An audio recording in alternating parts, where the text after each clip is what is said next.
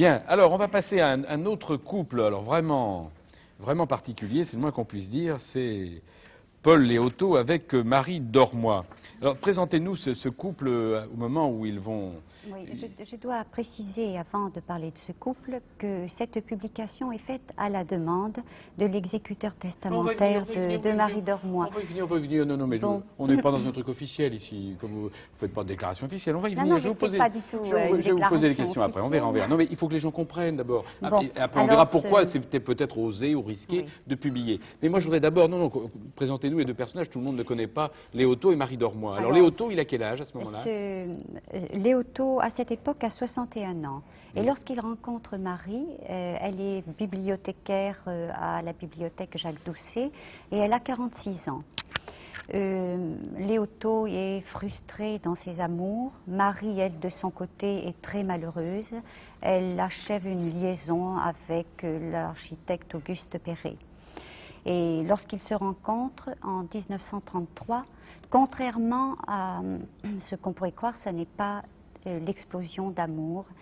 Léoto découvre une femme d'abord qu'il n'aime pas. Et il commence un journal, un journal intime qui est d'ailleurs une branche annexe du journal littéraire dans laquelle il consigne au jour le jour l'évolution de cette liaison, Hmm. qui est, il faut le dire, une liaison érotique.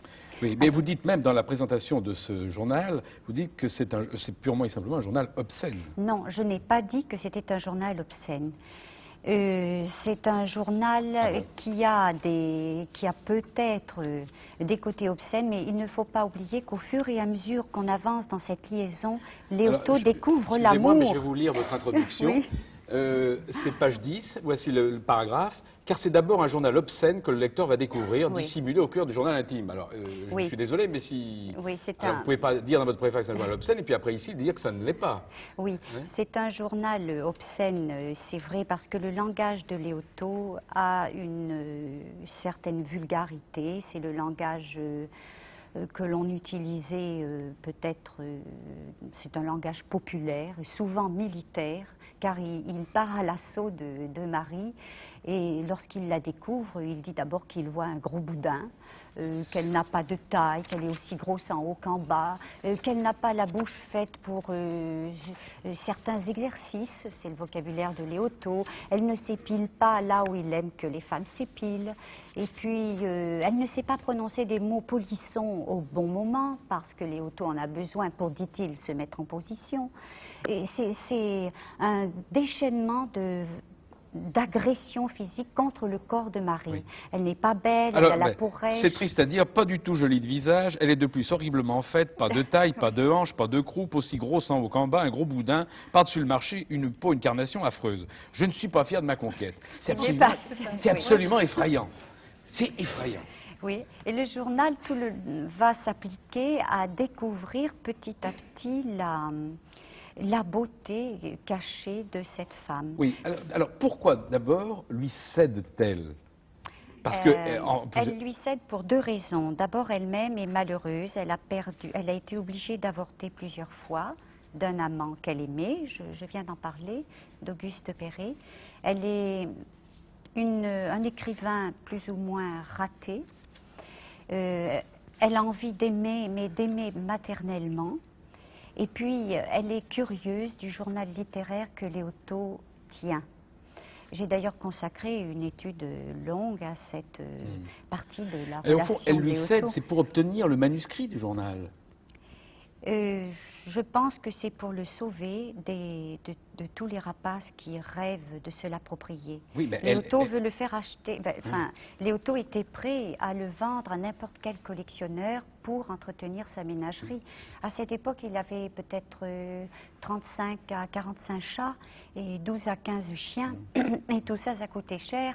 La vie qu'il avait au Mercure de France ne lui apportait Mais pas est-ce- assez Est-ce d'argent. qu'elle ne s'est pas donnée à lui tout simplement parce qu'elle dit c'est le seul moyen de, pour moi d'avoir un jour ce Hmm, journal? Vous êtes un peu dur avec Marie. mais Je non, mais moi je suis qu'il pas a- dur, mais moi je vous Marie accepta tout dès le premier jour, Oui, oui. même, et je vous cite, Mm, l'odeur âcre, sûre, de sueur et de linge mal lavé qui s'échappa du pantalon de son nouvel amant, écrira-t-elle? Écoutez, moi j'invente rien, c'est vous qui écrivez Oui, ça. oui. Alors je me dis, mais pourquoi a-t-elle cédé? Eh bien, je crois qu'il a, il y a plusieurs choses qui l'ont poussée. C'est d'abord cette grande solitude. Elle Mhm. le dit dans ses mémoires. Il y a 30 pages qui concernent Léoto et elle dit que euh, elle avait envie de, de, de s'approcher Ouais. de ce vieil homme pour son journal littéraire, mais aussi pour son immense solitude. Et, et lui, alors pourquoi la- la- fait-il sa le- conquête alors qu'il la trouve euh, laide, affreuse Il- parce que Léoto mène toujours plusieurs affaires à la fois. Euh, il- et contrairement à ce qu'il écrit dans ses aphorismes, Léoto a une maîtresse officielle, c'est Anne Kessac. C'est elle qui lui fait euh, les petits plats entre midi et 15 heures. Et en même temps, c'est celle à qui il va faire euh, une petite minette entre midi et 15 heures quand il sort du Mercure de C'est celle France. qu'il appelle le fléau. Alors, eh, il l'appelle le fléau, Ouais. la panthère, mon, euh, mon- ma chère putain, cher et adorable cul, madame. Jamais Anne Kessac. Ce sont des rapports qui sont. Alors là, on peut parler euh, d'obscénité. euh, Ah oui, c'est d'un érotisme forcené et, et d'ailleurs, euh, on, on peut, on peut juger les lettres qu'il a écrites à Marie en lisant la correspondance générale. Vous en avez un bel exemple, elle a été publiée en 1972. Mais justement, je ne veux pas que, que vous tiriez Marie de ce côté. Vous- il, faut- il ne faut pas oublier que Marie, c'est une femme de lettres, cultivée, intelligente, sensible, qui petit à petit va, elle aussi, en quelque sorte, tomber amoureuse de Léoto, qui va se laisser fasciner par Léoto. Et Léoto, lui, va tomber amoureux de Marie. Oui, mais il la trouve pas mal à la fin. mais à la première fin, année, il dit non est mais pas si mal. vous le dites d'une Hein façon, monsieur comment Mais qui, qui détruit. Non, ce n'est pas vrai. Euh, c'est incroyable de voir apparaître sous la loupe, puisque j'ai travaillé avec une loupe Mhm. pour décrypter ce manuscrit. Oui, là, vous avez du mérite. Hein, Je vous que... assure que c'est illisible. Je mets une heure pour décrypter une page. On voit apparaître les mots de la tendresse dans ce journal. Léoto n'a jamais de sa vie prononcé le mot ma chérie, mon chéri. Il n'a jamais dit un mot tendre de sa vie.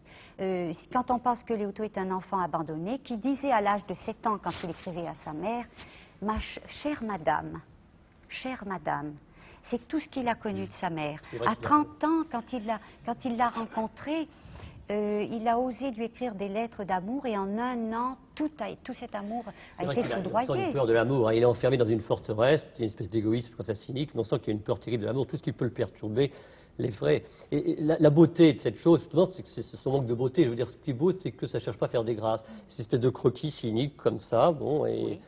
Non, c'est pas tellement audacieux parce qu'il dit je, je, je baie, je breu, je me demande ce qu'il faisait comme ça, Oui, alors, oui, il- il alors que Jeunet à la même époque, il dit je, je bande, je branche, Tandis je que vous, sais écrivez pas. les mots, vous, vous Oh ne- bah oui, bah, Hein c'est pas la même génération. Sais pas, c'est bizarre, C'est parce problème de audacieux et en même temps c'est Voilà. c'est puritain quand même. Oui. hein. C'est. Mais François Nourricier, vous avez connu euh, Léoto Non, je n'ai pas connu Léoto. Mais j'ai rencontré Marie Dormois. Ah, alors. J'ai rencontré Marie Dormois en 52, euh, parce que j'avais une drôle de petit prix qui s'appelait le prix Fénéon, Pour l'eau grise pour l'eau grise, Ah qui était géré par l'université et dont Marie Dormois était c'est la vrai. secrétaire. Et on m'a dit, euh, Paulan, Paulan m'a dit, il faut absolument aller voir euh, Marie Dormois, vous verrez, c'est quelqu'un de, de- c'est quelqu'un de passionnant. Alors je suis allé dans le fameux bureau de la bibliothèque Sainte-Geneviève et je me suis trouvé devant une, une dame de- que tout le monde dit grande. Moi, j'ai pas le souvenir d'une dame de Oh, grande un taille. à tabac. Euh, c'était- elle était plus large. Ah, vous n'allez pas vous y mettre, vous aussi Mais non, mais enfin, c'est la Elle était plus large que grande. Ça me paraît. Elle était plus large que Elle grande. était plus large que grande. Donc Léoto n'avait elle avait un peu le genre, le genre Ad- Adrienne Meunier, vous savez, le genre robe Ouais. de bure, comme Mais ça. elle était belle en 1933, vous n'imaginez pas, la fameuse. Enfin, en splendide que 52, c'était. en 52 les, les traces n'étaient pas évidentes. C'était une personne d'une grande culture, Oui. très, très sinueuse, très Et charmante. vous saviez toutes ces choses-là à cette époque? Mais non, bien sûr Oh, que ben non. alors qu'est-ce qu'est-ce qu'on Euh, avait ça, tout à l'heure, je vous ai dit, je vous ai dit, je, je trouve un peu de chiennerie dans ce manuscrit, parce que tout d'un coup, j'ai collé les mots à, l'image de cette vieille dame. Euh, ça devient un peu gênant. Ça devient un peu gênant. Ça devient un peu gênant. Alors, Robert Mallet, qui a bien connu Léoto et qui a fait des entretiens euh, inoubliables avec lui, euh, devait avec vous présenter Mm. ce, ce- ce- ce journal particulier, mais il, il m'a dit au téléphone Ah non, je, je ne peux pas venir parce que. Oui, oui, si, je vous laisse finir. oui, vous allez Oui, oui. répondre. Et il m'a dit Je ne peux pas parce que je suis contre la publication de ce journal. Non pas, me dit-il, par pruderie, ce- c'est pas ça, mais tout simplement, je trouve que ça n'ajoute rien à la gloire de Léoto et de Marie Dormois. Au contraire, même, c'est pas bien du tout. Et il trouve que c'est une mauvaise action que ce journal ait été publié. Alors Robert Mallet serait d'accord pour qu'on brûle ce journal. Et c'est une branche annexe du journal euh, littéraire. Si Robert Mallet l'avait lu, il verrait euh, 5 juin 1933, voir journal courant. C'est un fragment du journal littéraire que Léoto appelait aussi communément journal général ou journal courant. Alors je ne vois pas pourquoi on exercerait une censure euh, à propos de ce journal qui est la partie la plus intime, la plus retirée de l'homme de Et lettres qui appartenait à Marie Dormois. qui appartenait à Marie Dormois, laquelle l'a remis à, à son exécuteur testamentaire, M. Étienne Buteau, qui est magistrat à la Cour d'appel de Poitiers, magistrat honoraire maintenant, et qui m'a demandé, euh, pour achever et finir le travail que j'avais euh, fait sur Léoto et le Mercure de France, de bien vouloir décrypter ce journal parce qu'il faut s'y atteler à ce décryptage, l'introduire et la noter, ce que j'ai fait. Je, je consacre donc des heures et des heures à ce travail comme il se doit. Et vous, vous avez été scandalisé par ce que vous avez lu Ah, j'ai été, moi je n'ai, enfin disons que j'ai jamais passé ma vie ni mes études à lire des, des journaux ou même des romans érotiques. J'ai été extrêmement euh, surprise. Imaginez que je travaille avec une grosse loupe, puisqu'on ne peut pas lire ce roman. Oui, et quand on m'a remis ces boîtiers hermétiquement fermés, qui sont fermés depuis peut-être 20 ans, j'ai ouvert et je suis allée acheter une loupe ne pouvant rien faire, rien deviner, rien comprendre. J'ai commencé à, lu- à lire. C'était pas possible ce que je lisais, c'était Ouais. effroyable. Mais au fur et à mesure, je les ai vus apparaître, les mots de la tendresse. Et là, eh ben, dans mon cœur abattu, je suis, je mais s'il n'y avait pas eu ces mots de tendresse, vous ne l'auriez peut-être pas publié si, si, je l'aurais quand même publié par honnêteté, parce que c'est Léoto. Alors, François Noisy, fallait-il publier ou pas? De toute façon, l'idée euh, qu'on puisse détruire, occulter ou brûler un texte affreux, après la mort d'un écrivain, c'est monstrueux. C'est monstrueux. Un écrivain doit prendre ses précautions et très tôt et faire disparaître ce qu'il estime devoir disparaître. Euh, cela dit, les héritiers qui empêchent qu'on publie les inédits et tout ça, c'est scandaleux. Euh, donc je crois là vous avez. Non, puis- vous avez raison. euh, Vraiment, mais il et fallait puis, montrer Léoto, ce texte. dans, dans son journal même, il nous renvoie lui-même à son journal littéraire parce qu'il souhaite qu'il soit publié. Il ne veut pas qu'on Oui. le fasse. Alors, vous qui connaissez bien Léoto, même si vous ne l'avez pas, pas connu. euh, euh, Mais vous- cette image, Oui, enfin, c'est- oui, ça- mais me- simplement, ça me suffit. comment expliquez-vous qu'il nous raconte tout dans, dans ce, dans ce journal particulier? C'est raté euh, de temps en temps avec Marie Dormois, Mais de il a temps en des temps, côtés. il, note tous ses orgasmes, Oui. etc. Il note tout ça. Mais pourquoi Qu'est-ce qui explique ça Mais il a des côtés stendaliens. Écoutez, les plus grands amours commencent peut-être par des fiascos. Oui, on le voit raté, raté, raté, hélas. Léoto commence par un On beau fiasco. bah, comment dire bah, Il a une féminette, et, bah, il la lèche. hein, euh, pendant, mais non, mais pourquoi? Pendant des heures, et alors après, il dit Mais je suis trop fatigué maintenant, je ne peux plus passer à l'action. Alors on se demande s'il fait ça par altruisme, ou bien s'il fait ça parce qu'il est bloqué. On ne sait pas, parce que peut-être qu'il est altruiste, parce que par exemple, il passe des heures à s'occuper d'elle. Alors on se demande qui si c'est peut-être de la psychanalyse, Patrick Grinville. Je ne sais Oui, pas. en ce qui concerne Léo, en ce qui concerne Léo et les bas de Léoto, euh, les facultés pour euh, bander ou pas, écoutez. Il y a des hauts dont ils se, se vendent Oh. quand même Oui, abondamment. Il y a arrive, des hauts oui. de deux heures qui sont assez Ah oui, impressionnants. ça, vous les remarquez vous-même Oui, oui, avec, un peu, noté. avec un peu de méfiance. Oui, oui, Oui. je suis quand même. Je pense qu'il a un côté épique Et par peut-être moment. même d'envie. Et d'envie Bien, alors voilà, c'est. Enfin, c'était. Bon, alors vous êtes. euh, mesdames, là, vous étiez. Karine Mériot, vous n'avez pas dit, là, vous, vous allez parler de Louise Labbé. Qu'est-ce que vous. Fallait publier ce, ce journal ou pas? Ah oui, je pense tout à fait que c'est un document. euh, Mm.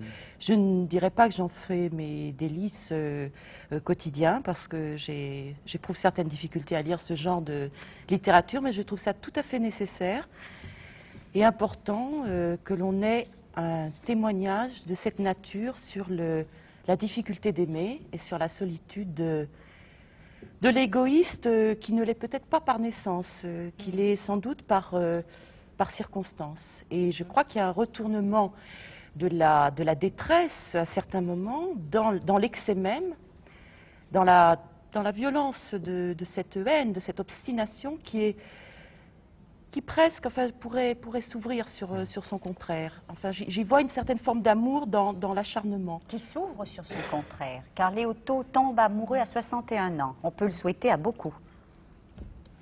Oui, ne pas tomber amoureux de cette manière.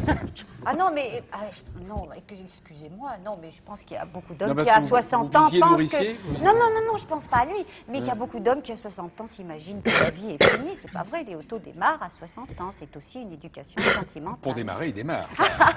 Euh, Pas, Patrick, pas- pas au quart de tour. Ah, Pas au quart de tour. Alors Patrick Grinville,